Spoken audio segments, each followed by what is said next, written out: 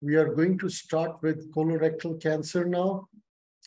And uh, we will, it's not a very long lecture. There, in this lecture, there are a lot of slides that are for your reference only. So I'll go quickly through those slides. And uh, if we are not able to complete this lecture today, then we will uh, again come to the to this lecture. Uh, whatever part is left, we will complete that next week. All right. So uh, colorectal cancer, in this diagram, you see the uh, colon and you see a cancer that is over here. It could be there in the left side of the of this uh, of the colon or on the right side of the colon. On the left side and right side, we have molecularly different cancers most of the times, okay? So we'll see in this lecture that uh, what is colon cancer and what is the treatment of colon cancer. So colon cancer is the most common type of GI cancer. It is a multifactorial disease process with etiology encompassing genetic factors, environmental exposures, including diet and inflammatory bowel disease. You have done inflammatory bowel disease perhaps in previous uh, therapeutic lectures and also in pathophysiology, uh, particularly um, uh, this um, ulcerative colitis has is a very high risk factor for uh, colorectal cancer. Okay. Then um, genetic factors. There is a, there are a series of mutations that occur before colorectal cancer develops, and we'll take a look at, at those mutations as well. And obviously, and by environmental exposures, here it is written diet. There are certain types of diets which uh, uh, put a person at a high risk of colorectal cancer, and those are low fiber diets, particularly meat, red meat uh, is a high risk for colorectal cancer. Uh, high fiber diet uh, actually protects against colorectal cancer. Surgery is currently the definitive treatment modality, but again, we do surgery in certain uh, stages, the localized diseases, we do surgery over there. Uh, but the prognosis is good, at least much, much better than the lung cancer. We have other therapeutic options who are not surgical candidates, and that includes, as usual, it will include uh, cryotherapy, radio frequency ablation, again, which is a sort of radiotherapy, and uh, hepatic arterial infusion of uh, chemotherapeutic agents, or we can give uh, chemotherapy through uh, the normal routes that we usually do through a port A catheter, okay? Background invasive colorectal cancer is a preventable disease. Uh, there is uh, screening that we can do. It is recommended, and one of the screening tests, which uh, is uh, blood in stools, you know, it is known as occult blood in stools, blood that cannot be seen in high-risk patients. We can do that test, okay? It is a non-invasive test. Uh, early detection through though through widely applied screening programs is the most important factor in recent decline of colorectal cancer. And uh, biologic and genetic factors are being employed in clinics to assess the risk of developing colorectal cancer. So there are certain mutations. Sometimes there are certain familial diseases which predispose a person to a very high risk of colorectal cancer. And, and one of those diseases, which is known as adenomatous polyposis coli, um, it uh, has a 100% chance of transforming to uh, cancer in the colon, all right? So these biologic and genetic factors are there.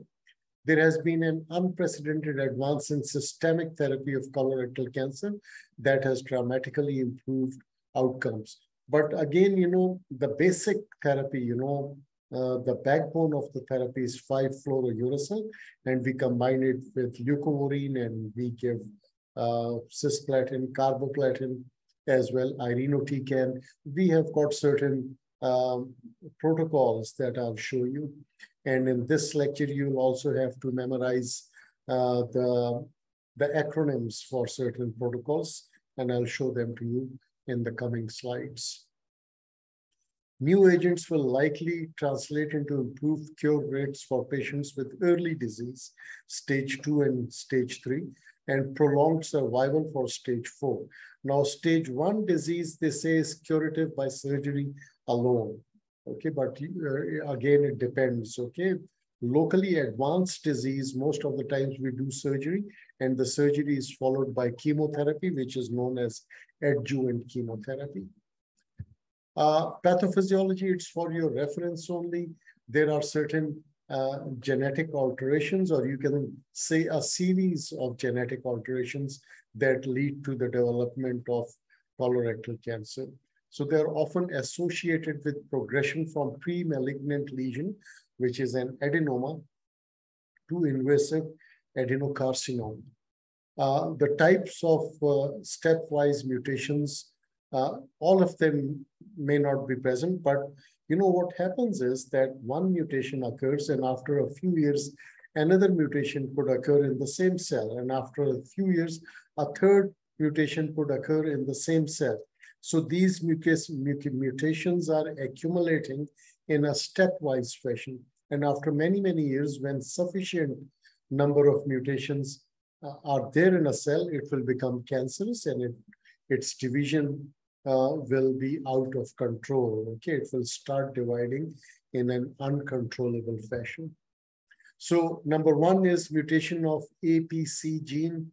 It is known as adenomatous polyposis coli gene. This is an early event, but just the mutation of APC gene does not cause cancer. It may lead to the for formation of adenoma, a pre-malignant lesion, but it does not cause cancer.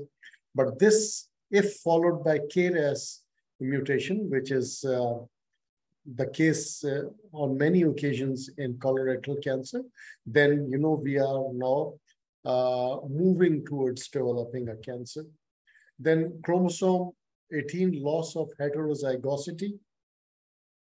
You know, loss of heterozygosity means, you know, everyone has got two similar homologous chromosomes, one from the mother and the other from the father.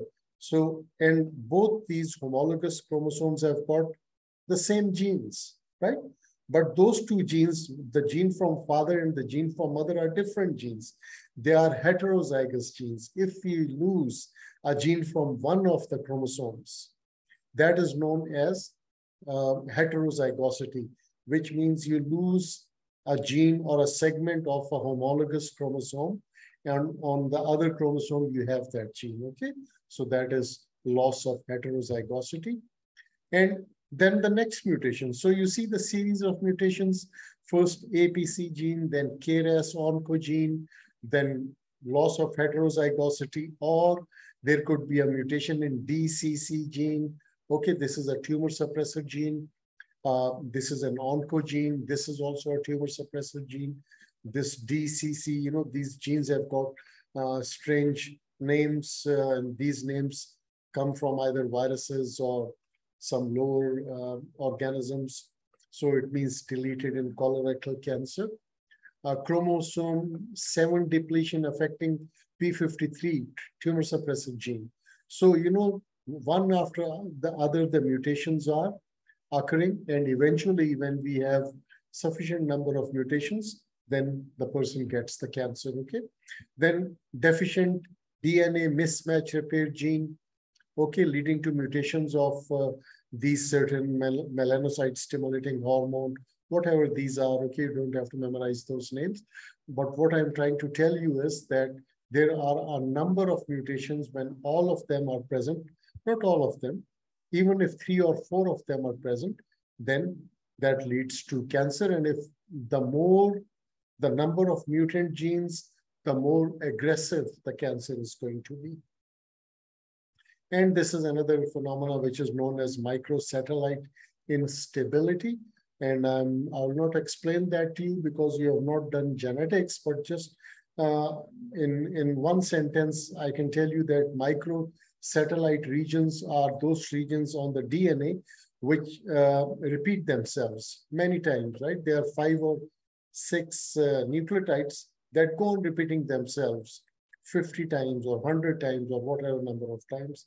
So microsatellite instability means that the number of repetitions are changing. Okay, so this is what happens, you know. Let us suppose you initially get a mutation in e APC gene. So you see uh, this uh, sort of adenoma has started developing, you know, adenomatous polyps, it's long and then it becomes big. Then we get KRAS mutation, we get severe dysplasia. It is not yet cancer, abnormal growth. Then we get another mutation, maybe P53 gene or uh, a mismatch repair gene or microsatellite instability. Now we have got a cancer. Okay, but this cancer is carcinoma in situ. It is above the basement membrane. But then it becomes an invasive cancer. It has gone through the basement membrane and submucosa and the muscle layer and through the serosa, it could go to other tissues as well, okay? So this is how it pro progresses. And here is an example of an adenoma, right? This uh, is a pre-malignant. It is not a cancer, but it is a pre-malignant uh, lesion. So uh, what uh, maybe it has already been resected uh, by the surgeon.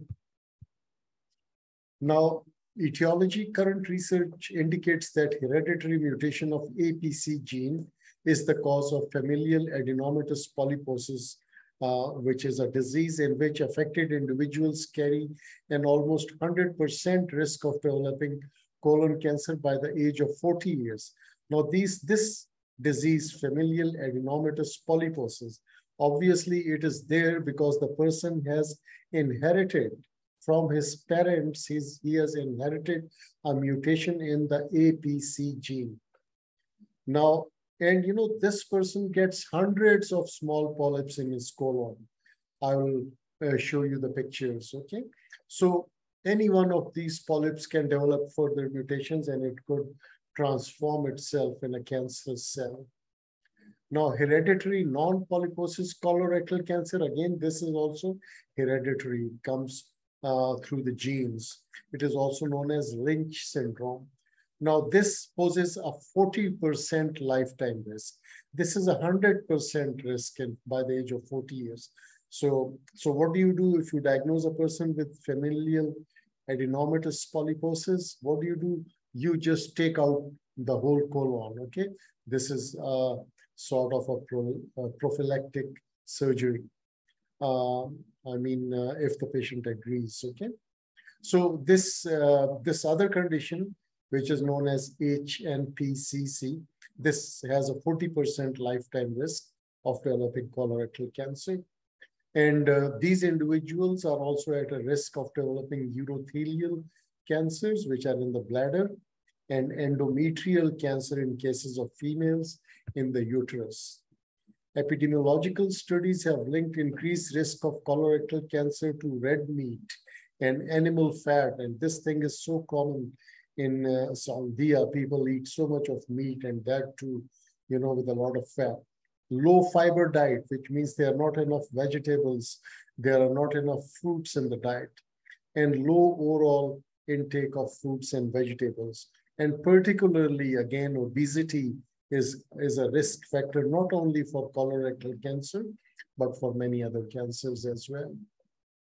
And here is an example, you know, this familial adenomatous polyposis, you see this is uh, a resected colon and you see these are all polyps, polyps, you know, you count them, maybe you see about 50 in, the, in just this small little area. So these people get hundreds of polyps, okay? And this is a normal colon. You see, you see it is so neat and clean, sort of, and this uh, has got polyps in it. So what are the first symptoms of uh, Lynch syndrome? Uh, Lynch syndrome, as I mentioned, is HNPCC, hereditary non-polyposis colorectal cancer, and adenocarcinomas account for 90 to 95% of large bowel cancers, okay? So I'll come to the signs and symptoms in the next slide. Let us complete etiology first. Obesity, cigarette smoking, alcohol consumption, and sedentary habits, which means doing no exercises, sitting all the day. These are the risk factors. Then again, genes, um, WNT signaling pathways.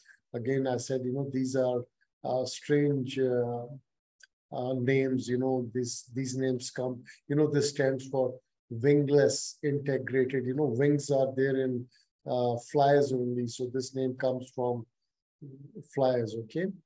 Uh, which most often result from loss of APC plays a critical role in development of colorectal cancer. And this beta catenin is another gene uh, which mediates uh, the WNT pathway. So now what you have to understand is that there are certain genetic mutations which lead to impaired signaling pathways inside the cell, and that leads to loss on cell cycle control, which means the cell will start dividing um, in an uncontrollable way. So this signaling, WNT and catenin B, signaling also appears to be involved in obesity, glucose metabolism, and type 2 diabetes. Ulcerative colitis and Crohn's disease, these are inflammatory bowel disease. They increase the risk of adenocarcinoma, particularly if the diseases have been there for a very long time. Okay. Now, prognosis of colorectal cancer is it is not as bad as lung cancer. The five-year survival rate is 65%. Now, we saw that in lung cancer, it was just about 15 to 25%. So it is much, much better than uh, lung cancer. And uh, the five-year survival rate is inversely related to stage, which means if you diagnose the cancer at a higher stage, uh, then the survival is going to be low. So that is why, you know, we do screening and I'll come to screening uh, in a little while. So our purpose is to diagnose the cancer at an early stage. If we diagnose the cancer at an early stage, we can do certain therapeutic interventions um, to cure the cancer. So survival rate in, low, uh, rate in localized disease, localized disease means stage one and stage two disease. Uh, it is 90.2%, five-year, very high survival rate. Regional disease, if, if, the, if the cancer has penetrated deeper into the, into the walls of the colon or it has gone to the lymph nodes or adjacent structures like peritoneum, then um, it is a little bit low, but still very good, 71.8% five-year survival. Distant disease, obviously distant disease means metastasis, could be in the liver or the lungs or the bones, wherever. Then the survival is very low, just 14% for five years. In patients with colorectal liver metastasis, high number of T regulatory cells relative to CD, CD8 cells are predictive of this uh, poor outcome, okay? So that is just uh, something for uh, prognosis. And I hope you know all about these T regulatory cells. These are the Th2 and Th1 helper cells, if you remember. Right, predictors of worse outcome, tumor size greater than five centimeter, disease-free survival less than one year, more than one tumor, okay? Uh, primary lymph node positivity, you know, lymph nodes are involved. The higher the number of lymph nodes involved, the poor the prognosis. Carcinoembryonic antigen, you know, CAE stands for carcinoembryonic antigen. You know, if it is greater than 200 nanogram per ml, then the prognosis is bad. And, you know, something similar we have in prostate cancer. In prostate cancer, we have got a prostate specific uh, antigen. If the level is very high, the prognosis is poor, okay, at the time of diagnosis. After we start the treatment, if the level falls down very rapidly, the lower it goes, the better the prognosis. So if you start treatment for colorectal cancer and the level of carcinoembryonic antigen falls down, then that will be a good sign, okay? So baseline level of circulating tumor cells less than three has a um, longer survival. So in any type of cancer, we always find cancer cells circulating in the blood. So we can isolate them and then we can detect the cancer at an early stage. Now, prognosis. Uh, I've left some blanks over here. So I want to ask you that with high BMI, do you think that the survival will be reduced or not? Question for you. So wake up if you're sleeping. With high BMI, there is a patient who comes to you with colorectal cancer and you find that his BMI is perhaps 32. So what do you think? His survival will be low or high? No answer? No, doctor. It will be low. That is very good. Yes.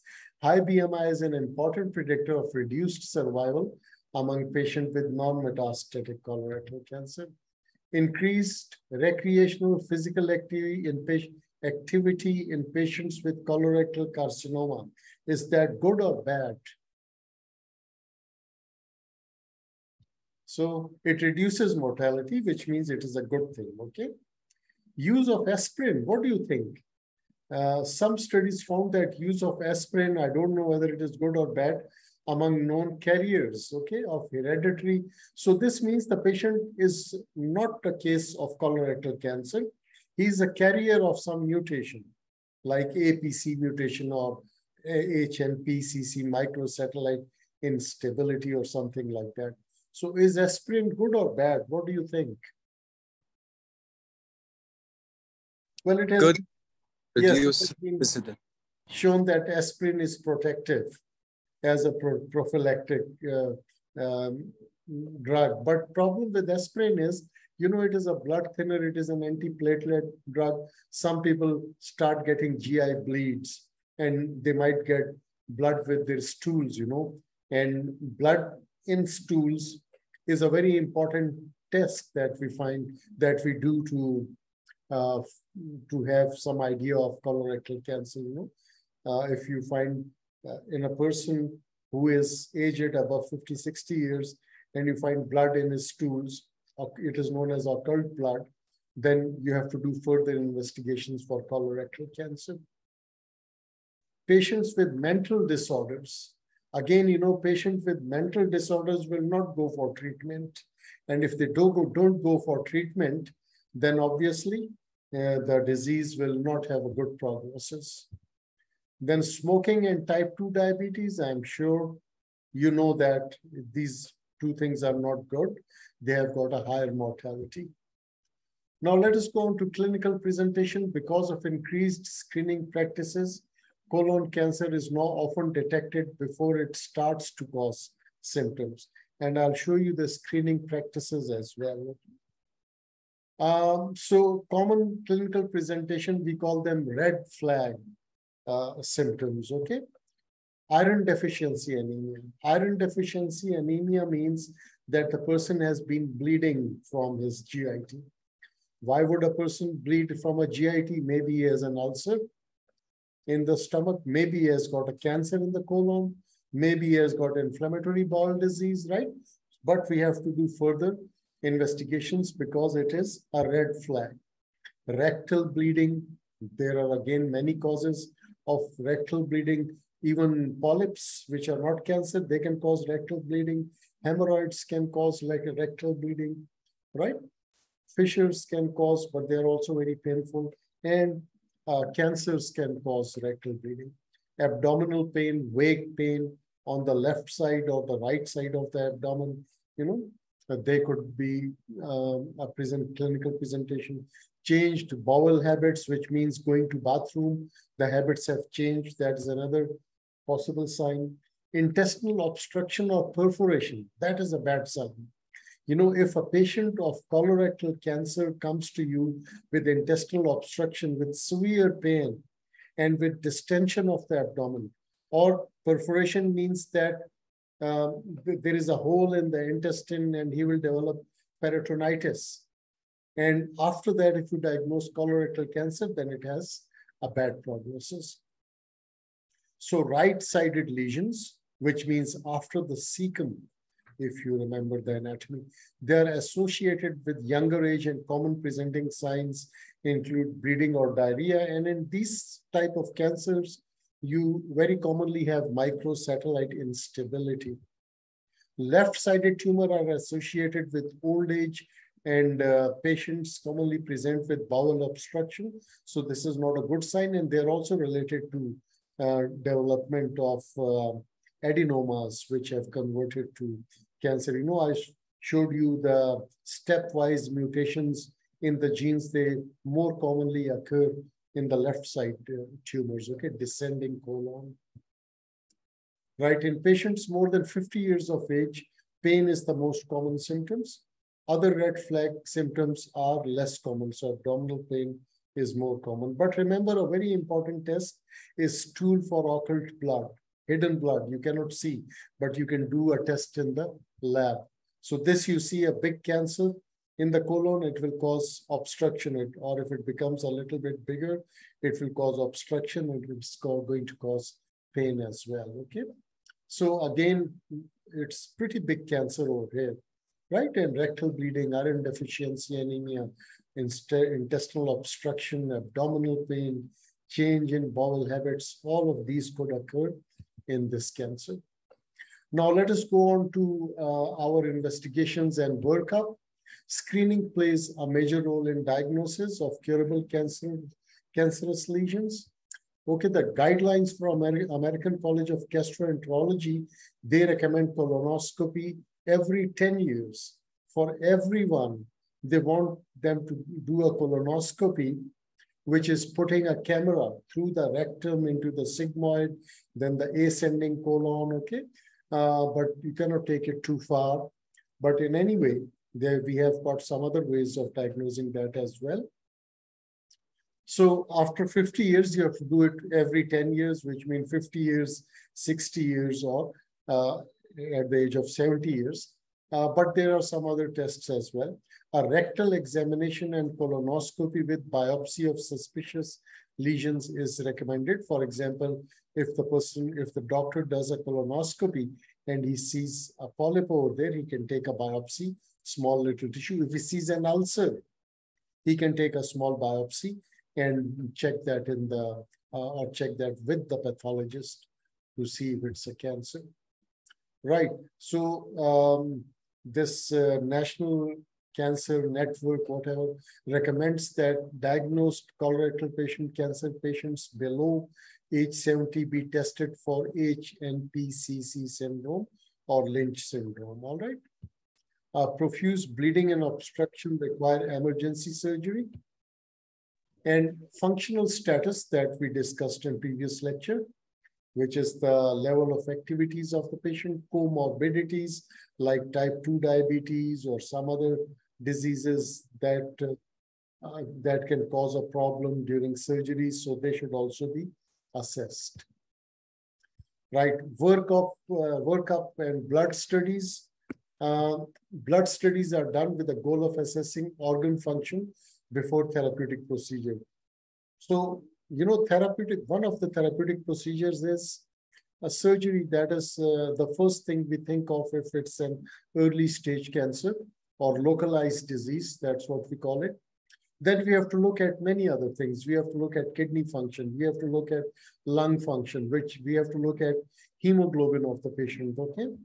So we do a complete blood count, we do serum chemistries, electrolytes, and um, uh, metabolic panel. You, you can include that. We do liver function test, renal function test, and carcinoembryonic antigen that I explained to you. A baseline for carcinoembryonic antigen, this is an important point. And we do the same for um, a prostate cancer that we will do next, okay? So they should be obtained pre-operatively as it is it carries prognostic values when highly elevated level may indicate more advanced disseminated disease. So prognostic value is if you find very high levels in the beginning at the time of diagnosis, then the prognosis is not good. And when you start treatment and the levels fall down, that means your treatment is working, all right? Uh, serum chemistries include BUN, creatinine, which are kidney function test, glucose, obviously. This is a test for diabetes, sodium, potassium chloride, carbon dioxide for, for the lungs, okay? Um, and carcinoembryonic antigen is not included in staging guidelines. Okay, so that doesn't help over there. For staging, we have got other things for doing staging. All right. So uh, we will stop here for another 10 minutes. You take a break and then come back after 10 minutes. All right.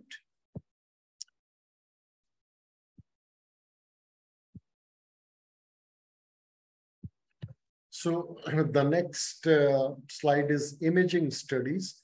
Uh, just like any other cancer, we do blood studies, we do blood chemistries, we do studies for certain biomarkers for the cancers, and we do imaging studies as well. And these imaging studies are more or less the same in most of the cancers, right? Uh, so adequate imaging of chest and abdomen should be obtained for staging purposes. And ideally, we do that pre-operatively. Uh, we can do an abdominal or pelvic or chest CT scan. We can do a contrast ultrasound. We can do a contrast MRI, a CT scan. We can do that for abdomen and the liver as well. Abdominal eh, or pelvic MRI scans for abdomen and liver, okay? Uh, we can do a chest radiograph or a chest CT scan. Barium enema is an um, important exam to delineate the primary lesion preoperatively. A positron emission tomography, we have seen that before in breast cancer and also in lung cancer. So there, this equipment or the apparatus or the machine is very expensive, but uh, this is a very good test, okay? And sometimes it is combined with a CT scan, which is known as fusion PET CT, or it could be combined with MRI as well. And that's the field of the radiologist. Now, caution, mucinous a signet ring cell variant of mm, colorectal cancer may not be well visualized on a PET scan, but obviously we have got, we can do biopsies as well to find out these things, okay? Right, again, um, in US, in early stages, uh, the survival rate is 90% if the cancer is found and treated early, which is a very good thing.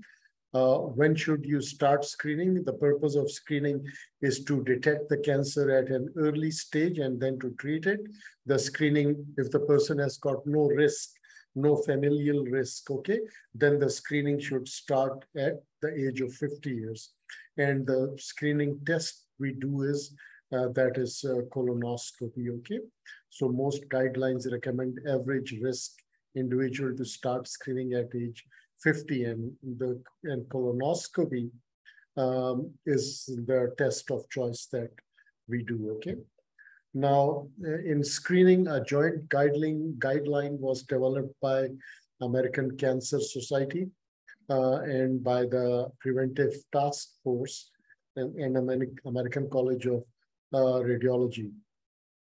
And they're based, based on individual risk factors we have already said that a person with average risk factors, uh, uh, it should start at the age of 50 years. He doesn't have uh, this disease, adenomatous polyposis coli, which uh, is basically a, a, PC mutation. He does not have uh, Lynch syndrome, which is HNPCC. So that's a normal average patient. We should start colonoscopy at the age of 50 years. Uh, because of the rising rates of CRC in younger patients, screening should be at the age of 45 at average risk. Well, it's up to the person, it's up to your insurance company, it's up to the doctor when he wants to start screening, but mostly it is 50 years that is recommended by most of the guidelines. And the screening tests include flexible sigmoidoscopy, which is done every five years, whatever you age you start at. If you start at 50, then every five years, 45 again every five years. Colonoscopy is done every 10 years, double contrast, barium enema every five years, and CT colonography also uh, every five years. Okay, so these are the different types of screening tests that we can employ. Uh, indications for colonoscopy, if there is a family history of colorectal cancer or polyps, then we have to start screening at an earlier stage, at a younger age. Family history of hereditary colorectal cancer syndrome, uh, such as familial adenomatous polyposis or HNPCC. Again, you know, this is an indication for early colonoscopy. Personal history of colorectal cancer, which has been treated and the patient is in remission. To find out the recurrence, we have to do colonoscopy. Uh, chronic inflammatory bowel disease, ulcerative colitis, and Crohn's disease, you know, there we have to do colonoscopy. Unfortunately, you know, in these diseases, uh, we, we cannot do a stool test because we find a little bit of bleeding in the colon with these diseases and we can find occult blood in stools in these diseases. Otherwise, occult uh, blood in stools is a very good test uh, for colorectal cancer. So tests that primarily detect cancer and, the, and their recommended frequency include the following. Uh, so this is the test, you know, occult blood test, guaiac, annual guaiac-based fecal, you know, guaiac is a chemical that detects blood. Occult means it cannot be seen, okay? So it will only be detected when the stool is treated with guaiac, okay? With high test sensitivity for cancer annual fecal immunohistochemical test. This also has got a high sensitivity for cancer. Stool DNA test because the cancer cells, they are found in the school stools as well. So they could be done every one to three years, okay? Screening should start at a younger age and should be more frequent in high-risk individuals, such as, such as persons with any of the following uh, prior history of polyps, family history of colorectal cancer. The person has a prior history of colorectal cancer and history of inflammatory bowel disease, and that's the same thing that I mentioned in the previous slide. Again, um, uh, they say that colonoscopy is the gold standard, and uh, this slide is also just for your reference. Uh, what it is saying is that if you diagnose the cancer early, which is stage one and stage two, and maybe stage three as well, then the uh, five-year survival rate is about 90%. And this is a special test which is known as uh, Cologuard. It is colorectal cancer screening test detects DNA mutations and hemoglobin in stool samples, right? So mutations you always do through a PCR. So this is one specific test and the other is uh, colonoscopy. And again, this is also for your reference, it gives you the sensitivity and specificities for different screening tests that we have, okay? And it also gives you negative and positive predictive values. Uh, and But I'll not go into any more details of this slide. Right, then we have got, uh, you know, another way which is known as capsule colonoscopy. There is a camera that is uh, enclosed in a capsule that the person can swallow and it will go through the entire GIT and it will be uh, recovered from the stools that the person passes, right? So the patient swallows a pill camera that acquires images as peristalsis propels it through the gastrointestinal tract. The images are transmitted to a recording device and then converted to a video format for viewing on a computer. So he takes the pill in and he has a belt on which this recording device um, is attached, okay? In 2014, the US FDA approved PillCam colon capsule endoscopy system. Okay, there, there are many available. This is one from Israel. So this is a pill cam, you know, it has cameras on both sides. A pill cam, this is another one, it has camera on one side only. And this uh, is for your reference, it gives, gives some detail how you, take or ingest that pill cam. You have to be empty stomach and, you know, fasting is necessary and so many things. So you can read it on your own, okay? It's giving the sizes of the pill as well. So this is for your reference if you want to go into more detail. And here are a few pictures which have been taken by a pill cam. And you can see that the pill cam has given the pictures of polyps or it could be a cancer as well, whatever it is. So the next step would be to take a biopsy, do CT scans and um, identify the location of this uh, area and then uh, we can do further investigations, okay? And this PillCam has taken a picture of a of an intestinal worm, which is Taenia saginata, okay? So PillCam is a useful thing. So, so we have so many different tests. We have colonoscopy and fiber optic apparatus, stool test. We have got imaging modalities. We do blood chemistries and many blood tests, baseline test for carcinoembryonic antigen. And then we have to do molecular testing as well. Uh, testing of metastatic colorectal cancer is increasingly guided by molecular testing of the tumor. We look for RAS mutation. Okay, the RAS gene is an important gene. We said that KRAS mutation is most of the times included in the stepwise progression of colorectal cancer. So RAS mutational testing. We test for EGFR gene as well. Uh, then BRAF is another V600. This is just the position of the amino acid where the, we find the mutation. Okay, we have got a special uh, specific drug if you find this mutation. Okay, in conjunction with deficient mismatch repair or microsatellite instability. So these are the molecular tests we are doing at the DNA level. Again, this is deficient uh, mismatch repair. You know what is mismatch repair? If there is any mutation in the DNA, the DNA polymerase immediately repairs that mutation. Let us suppose that we insert a wrong nucleotide when the DNA is being uh, polymerized or replicated. The, uh, the DNA polymerase will detect that, it will excise the wrong nucleotide and put the right nucleotide in that place. So that is what we mean by mismatch repair. And when there is a problem in mismatch repair, then obviously mutations cannot be repaired, all right? So we perform these tests. So what are these tests? We have done it for RAS mutation. We have done it for EGFR. We have done it for BRAF gene. We have done it for microsatellite instability and mismatch repair genes in Lynch uh, syndrome patients, okay? Now we go on to the staging of colorectal cancer, and I think uh, after staging, we will stop and then we will come back to this lecture next week. So again, we have seen that we have TNM staging system in breast cancer, we have TNM staging system in lung cancer, and we have TNM staging system in colorectal cancer as well. So this has become the international standard for staging of colorectal cancer.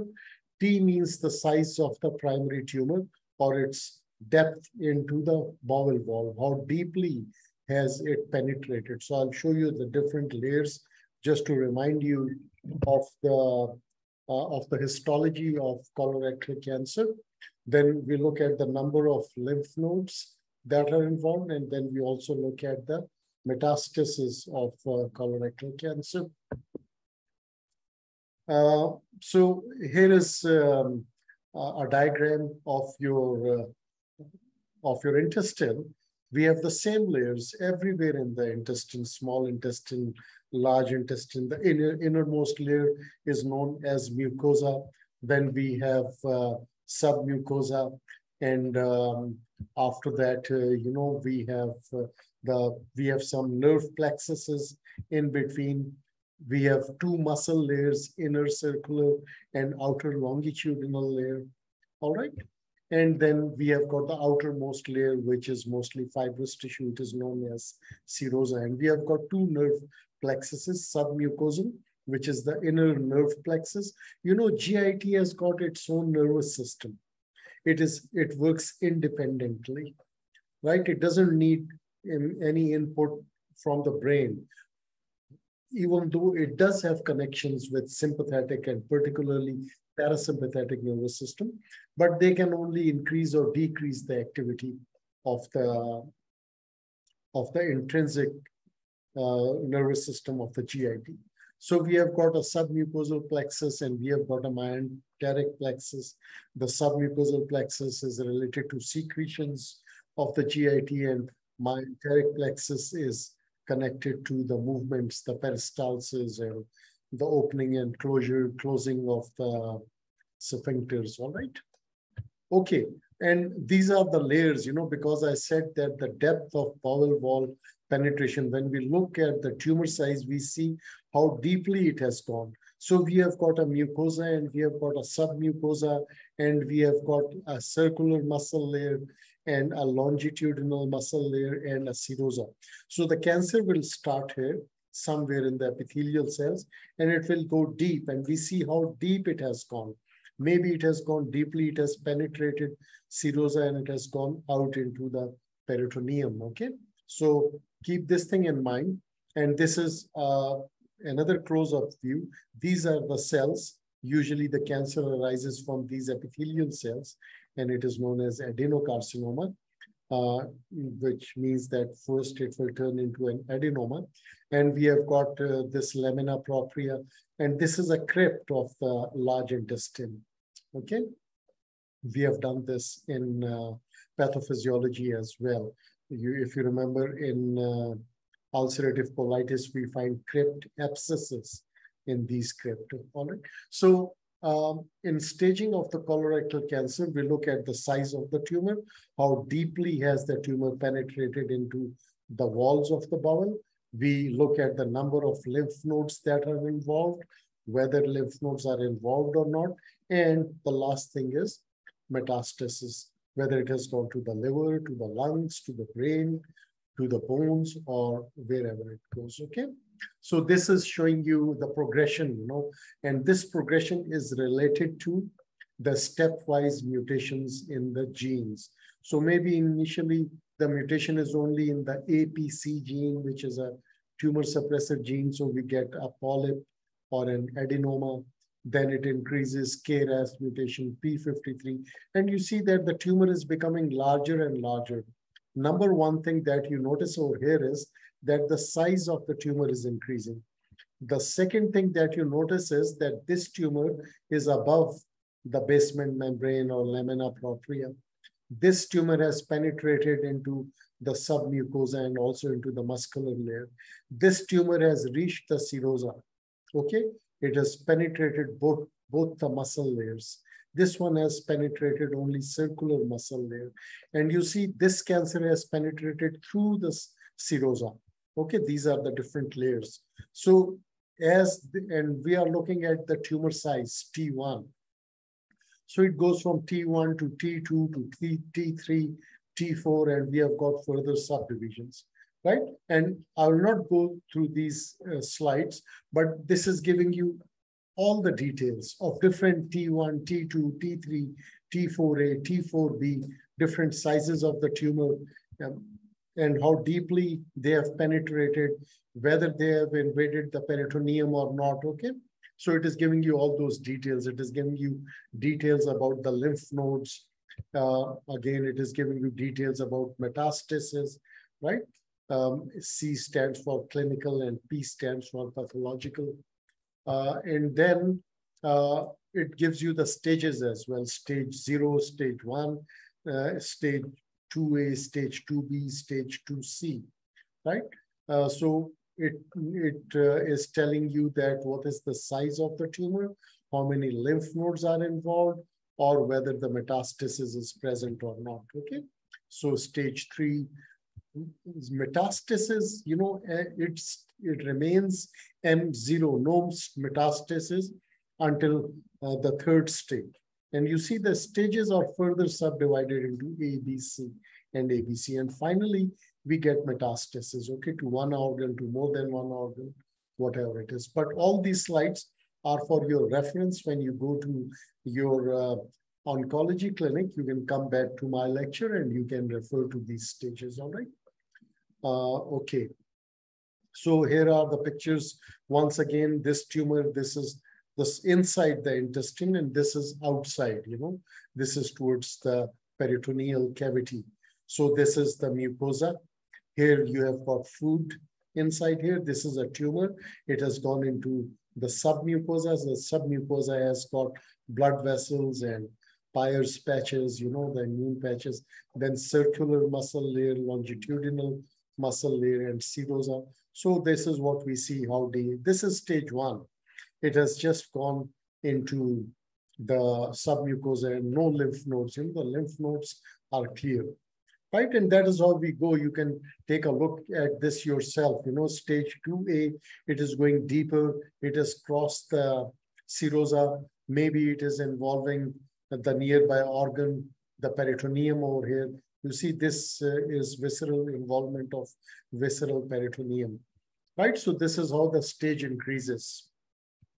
And we are start getting the involvement of lymph nodes as well in stage three. And the number of lymph nodes are increasing, you know, two lymph nodes, maybe five or six lymph nodes.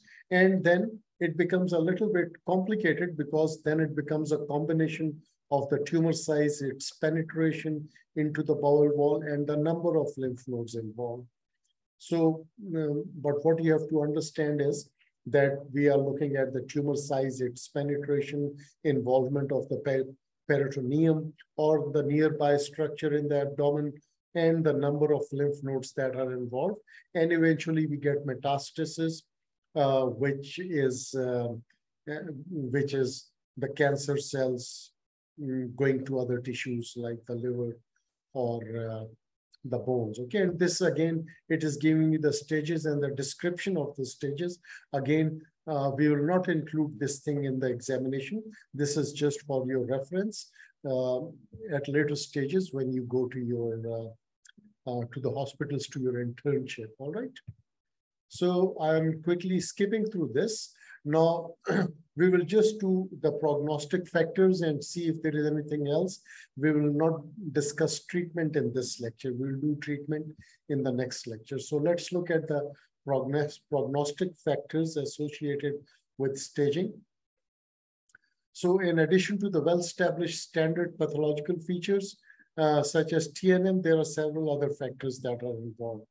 Now, these include uh, lymph nodes, the number of lymph nodes, histologic grade, and lymphovascular perineural going, involving the nerves, involving the lymphatic systems and the blood vessels, okay? So these things are also uh, taken into account when we are looking at the prognosis of the disease. Now, features of worse, worse prognosis, bowel obstruction I've mentioned earlier, ulcerative growth pattern, you know, uh, I hope you understand formation of an ulcer, erosions on the on the mucosal layer of the bowel, okay, large bowel. Perforation is a bad sign. Uh, elevated preoperative at the time of diagnosis of carcinoma embryonic antigen levels are more than 200, that's a bad sign. Then we have got molecular prognostic prognostic factor. They are not routinely investigated. Uh, so P53 mutations, loss of heterozygosity, uh, mutations in DCC gene, mutation in EGFR, epidermal growth factor receptor gene, okay? And this is just clinically important mutations. One is KRAS. Uh, there is a special PCR assay for this mutation, okay?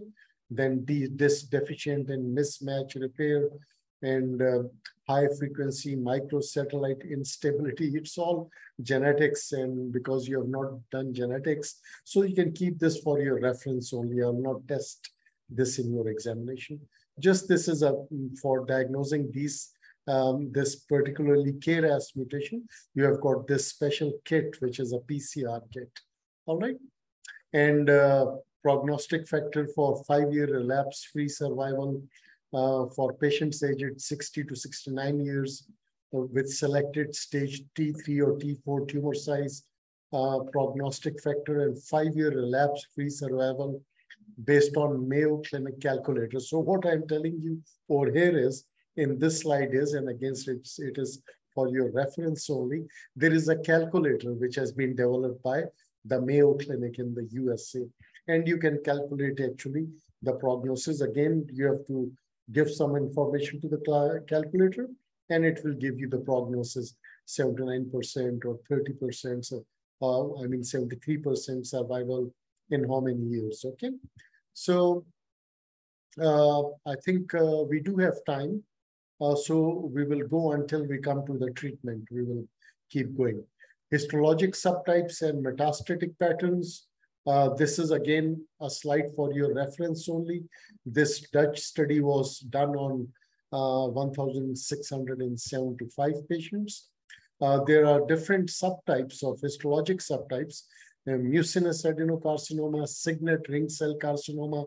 We find signet ring cells in stomach cancers as well, adenocarcinoma. Uh, and then, you know, I will not again go into these details because, you know, we are basically um, interested in the treatment and therapeutics of cancer. So this is just for your reference. And here is the slide for treatment.